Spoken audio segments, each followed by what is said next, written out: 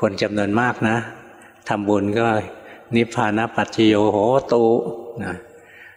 ให้เป็นปัจจัยแห่งพระนิพพานทำอะไรก็อ้าง ให้เป็นปัจจัยแห่งพระนิพพานแต่ไม่เคยเจริญสติไม่มีนิพพานหรอกได้แต่ขอ ลองเจริญสติรู้กายรู้ใจไปเรื่อย ๆ สิ แล้วจะรู้ว่านิพพานมีจริง การที่เรามีสติรู้กายรู้ใจเรื่อย ๆ ไปนะเรียกว่าเราทำสติปัฏฐาน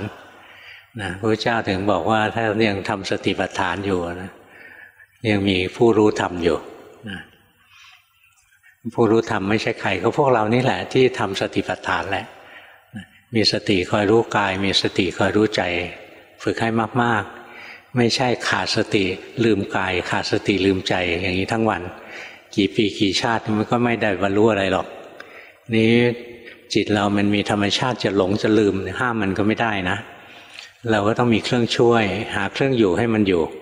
อยู่กับพุทโธ อยู่กับลมหายใจหรือหายใจเข้าพุทหายใจออกโธ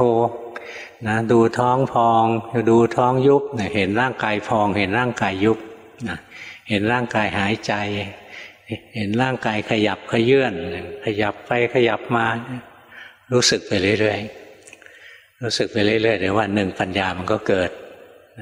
แต่อย่ารู้สึกแล้วเพ่งให้จิตนิ่งนะ นั้นไม่เกิดอะไรงี่เง่าอย่างนั้นเท่านั้นเองไม่ได้เรื่อง ปล่อยให้กายมันทำงาน ปล่อยให้จิตทำงาน มีสติตามระลึกรู้มันไป เดี๋ยววันหนึ่งก็รู้ความจริงกายนี้คือตัวทุกข์ใจนี้คือตัวทุกข์รู้ทุกข์เมื่อไหร่ก็เห็นธรรมเมื่อนั้นนะรู้ทุกข์แจ่มแจ้งก็คือถึงที่สุดแห่งทุกข์แหละสิ้นโลก สิ่งที่เรียกว่าโลกก็คือรูปกับนาม รูปธรรมนามธรรม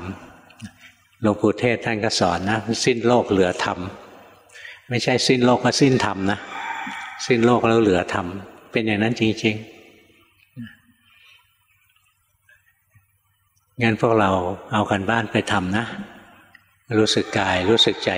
บ่อยๆ